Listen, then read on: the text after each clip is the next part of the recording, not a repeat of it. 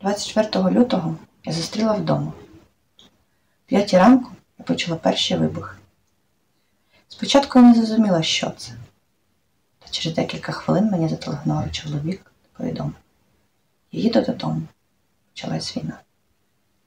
До останнього не змогла повірити в те, що це можливо, в те, що Росія наважиться на повномасштабне вторгнення.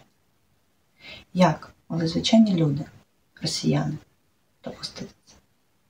Як могли перетворитись на безжальних, бездушних монстрів, які можуть просто мовчати або радіти вбивством невинних людей, дітей?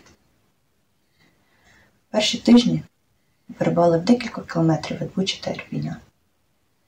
Дякуючи нашим хлопцям теробороні та ЗСУ, руський мір до нас не дійшов. Перевховуючись в підвалах, звуки сирен, вибухів, пострілів, безкінченного тремтіння землі, беззупинно гортаючи стрічку новин, хотілося б хоч щось зробити, хоча б чимось допомогти. Допомогти знайомим, родичам, сусідам, які пішли захищати свої родини та рідну землю.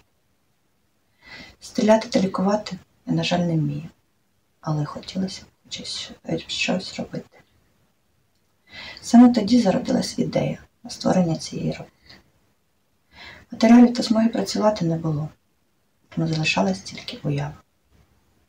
Я продумала кожну деталь, кожну дрібничку, як відрізати, загорнути та приклеїти кожен шматочок картону. Я займала свої думки образами, тільки для того, щоб не вслуховувати звуки вибухів і подумки не рахувати, настільки близько впав снаряд, щоб не думати, чи буде це мій останній ранок. Через декілька тижнів під звуки недалеких автоматних черг нам вдалося виїхати до іншої області України, де вирувало відносно мирне життя. Трохи оговтавшись, я почала працювати, згадуючи всі деталі, які виникали в моїй уяві у холодному підвалі. Я почала творити, використовуючи підручні матеріали та беручи картон у сусідньому магазині. Робота над танком розпочалась 8 квітня. Коли основна частина роботи була завершена, залишалась тільки деталь. 14 квітня був потоплений крейсер Москва, а за день до цього нанесла напис Руський воєнний корабль Ді На. Можливо, це збіг, а можливо, напис став пророчим. Слава Україні!